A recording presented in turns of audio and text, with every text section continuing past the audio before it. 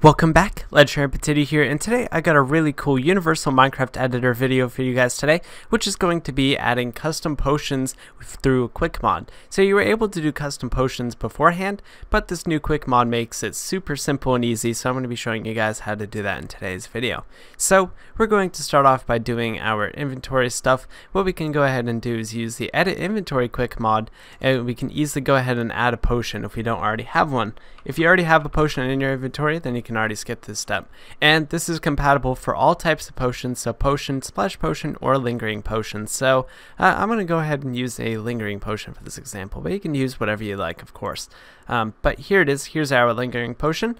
Uh, so what we can go ahead and do is we can go ahead here, right click, and check out these new things. So if we go right here to add custom potion effect, we can immediately get these potion effects right here and quickly add them. So custom potions have never been easier than this. So uh, let's say I want to add speed like it is right there by default, and I want to add max speed and max duration.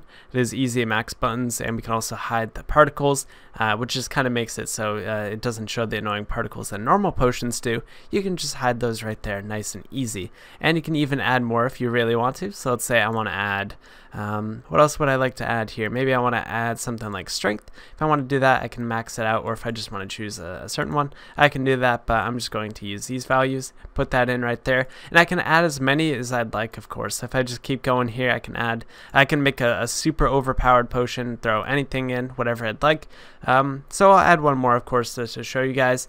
Uh, we will do uh, what can we do? What's a good one? We can do haste. Haste is a pretty good one. So this would be a pretty cool one for, I don't know, creative building or some sort of really strong kit. I don't know. I mean, obviously this is just kind of ridiculous example. Uh, but I can add this to as many potions as I'd like. So if I want to go ahead and do a normal potion, you just drink this. Um, same sort of thing there, of course. So uh, we, we can just kind of do that. Go ahead and modify it just like that.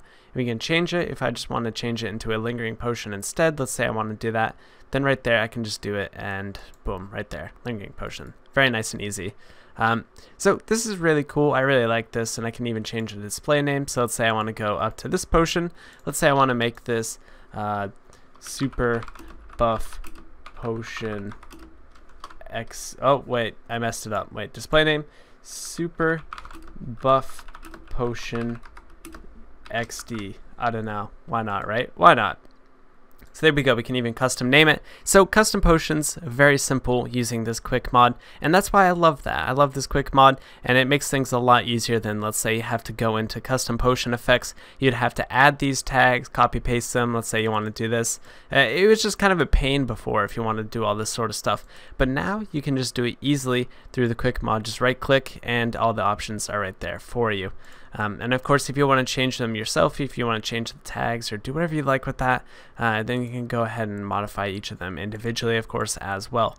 Um, but that's going to be it for this video. That's how you can do custom potions in Universal Minecraft Editor. If you guys did enjoy the video, of course, make sure you do leave a like and subscribe if you guys want to see more modding videos just like these.